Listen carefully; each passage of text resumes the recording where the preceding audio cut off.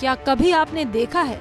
डोली में दुल्हन की जगह मरीज़ को ले जाते। नहीं देखा? अच्छा सुना भी नहीं। तो ये देखिए। कैसे पहाड़ों के बीच खतरनाक रास्ते से होते हुए डोली में बैठाकर मरीज़ को लोग ले जा रहे हैं। सरकार के विकास के दावों की पोल खोलती ये तस्वीर उत्तराखंड की है, जहाँ लीती गाँव के डांगती में जब भी कोई ग्रामीण बीमार होता है तो गाँव के लोग डोली के सहारे पहले सात किलोमीटर पैदल चलते हैं। फिर सड़क के रास्ते मरीज़ को सामुदायिक स्वास्थ्य केंद्र कपकोट पहुँचाया जाता है। लंबे समय से परेशान ग्रामीण सरकारों से जल्द से जल्द उन्हें मूलभूत सुविधाएँ देने की मांग करते आ रहे हैं, लेकिन उनकी समस्या आज भी जस की तस है।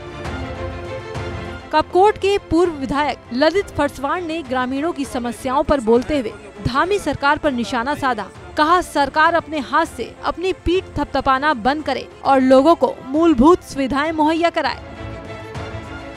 सरकार कहती है कि भी हमने गांव-गांव तक सड़क पहुँचा दी, गांव-गांव तक स्वास्थ्य की सुविधाएँ मुहैया करा दी और आज आप देख रहे हैं कि सामा जैसे लगता हुआ जिला तहसील मुख्यालय का क्षेत्र आज भी स्वास्थ्य शिक्षा जैसे महफूज ज्वलंत समस्याओं से महफूज है। तो मैं चाहता हूँ कि सरकार अपनी वाहवाही लूटने की कोशिश ना करे अपनी पीठ थपथपाने की कोशिश ना करे।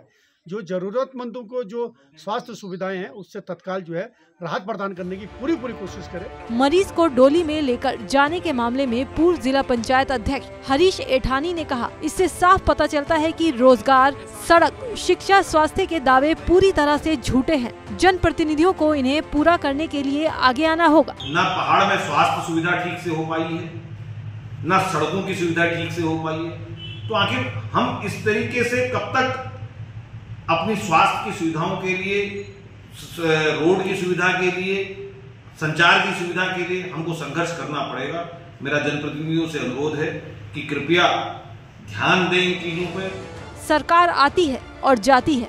इसी तरह चुनाव से पहले नेता भी ग्रामीणों की चौखट पर आते हैं और हवा हवाई वादे करके चले जाते हैं। लेकिन जमीनी हकीकत क्या है? वो आप इन तस्वीरों को देखकर समझ सकते हैं। ऐसे में सिर्फ़ यही कहा जा सकता है कि आखिर कब तक उत्तराखंड के दूरस्थ इलाकों में लोगों को ज़रूरी सुविधाओं से महरूम रहना पड़ेगा।